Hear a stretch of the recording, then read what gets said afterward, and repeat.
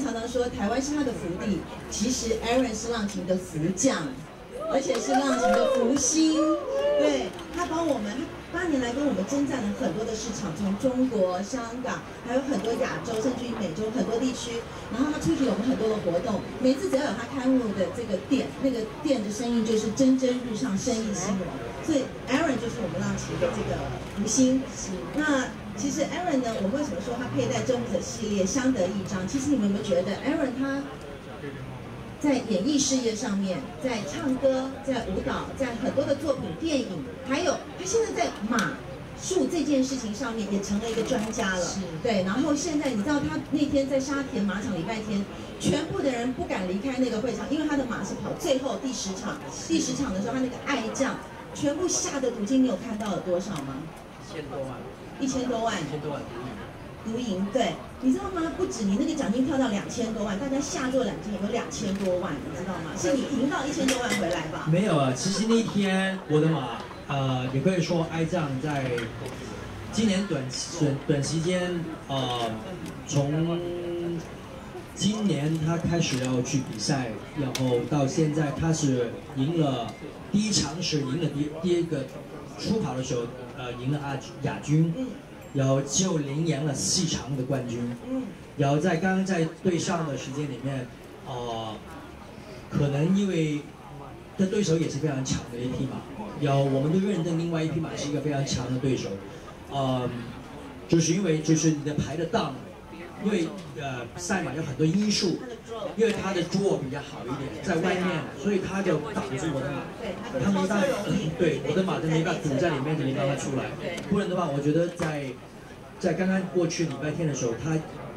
的确是有机会可以赢到冠军的。但是我觉得亚军也非常好，因为你可以看到他在一个不可能的一个位置上面也追上来，也追上来。所以也是跑了第二，我们我们也非常的很高兴。呃，我相信这个马未来日子里面可以得到一百分，因为他现在刚刚加多一分有九十分的马。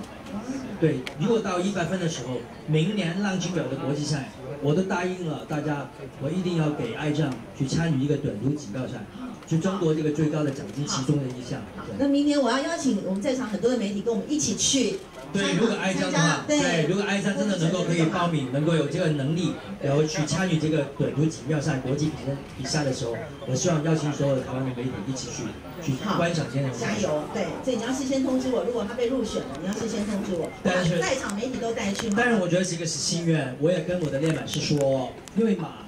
这个一个先天生的一个动物，它自己本身有一个个性，对，你不能去强迫它的，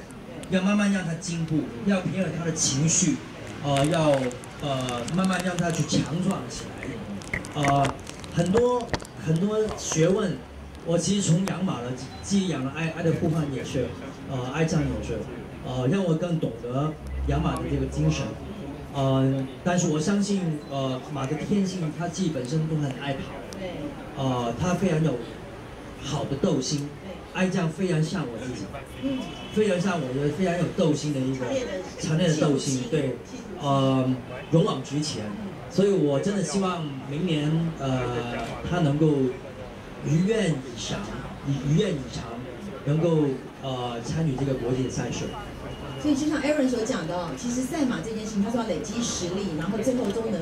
呃这个呃。拔得头筹，其实就跟品牌的经营也是一样的。浪琴表也是历经了一百八十一年的淬炼，然后到今天我们成为全世界，尤其是在中价位的一个领导品牌，也是经过了很长久的努力，然后有很多方面的一个天时地利人和，再加上很多人的努力一起的，包含我们的代言人、我们的媒体、我们全球的经销商跟我们所有的工作伙伙伴全体的一起努力，就能达到今天这样子的一个局面。那我们想在这边也非常再一次的谢谢 Aaron 来到我们今天的一个开幕活动。呃，再一次非常感谢大家。然后，当然，我觉得一个很重要的点，为什么我觉得在上马运动里面一直都能够可以跟浪琴表有一个那么完这个完整的结合，就是因为很简单，就是与时并进，精益求精。这个就是我希望能够可以带给大家，也希望大家能够喜欢浪迹表的主要原因。谢谢，谢谢。